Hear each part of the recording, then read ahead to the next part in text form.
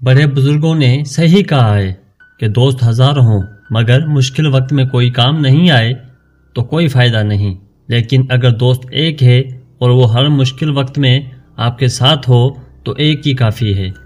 ग्राहक ने दुकान में दाखिल होकर दुकानदार से पूछा, केलों का क्या भाव लगाया है? दुकानदार ने जवाब दिया, केले बारह धर्म और सेब दस धर्म। इतने में एक औरत भी दुकान में दाखिल हुई और कहा मुझे एक दर्जन केले चाहिए, क्या भाव है? दुकानदार ने कहा, केले तीन दरम और सेब दो दरम।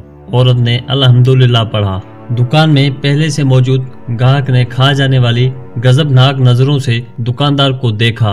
उससे पहले कि कुछ अवल फोल कहता, दुकानदार ने ग्राहक को आँख मारते हुए थोड़ा इंतज़ार करने को कहा। औरत खरीदारी करके खुशी खुशी दुकान से निकलते हुए बड़बड़ाई, अल्लाह तेरा शुक्र है, मेरे बच्चे उन्हें खाकर बहुत खुश होंगे। औरत के जाने के बाद दुकानदार ने पहले से मौजूद गाह की तरफ़ मुतवजह होते हुए कहा, अल्लाह गवाह है, मैंने तुझे कोई धोखा देने की कोशिश नहीं की।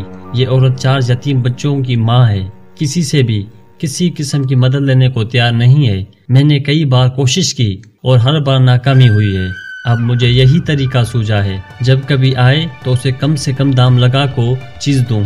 मैं चाहता हूँ कि उसका भरम कायम रहे और उसे लगे कि वो किसी की मोहताज नहीं है। मैं ये तजारत अल्लाह के साथ करता हूँ और उसी का रजा और खुशनुदी का तालिब हूँ। दुकानदार कहने लगा, ये औरत हफ़्ते में एक बार आती है। अल्लाह गवाह है। जिस दिन ये आ जाए, उस दिन मेरी बकरी बढ़ जाती है और अल्लाह की केबी खजाने से मुनाफा दो चंद होता है। कहा की आँखों में आँसू आ गए। उसने बढ़कर दुकानदार के सर पर भूसा देते हुए कहा, बखुदा, लोगों की ज़रूरतों को पूरा करने में जो लज्जत मिलती है, उसे वही जान सकता है जिसने आजमाया हो।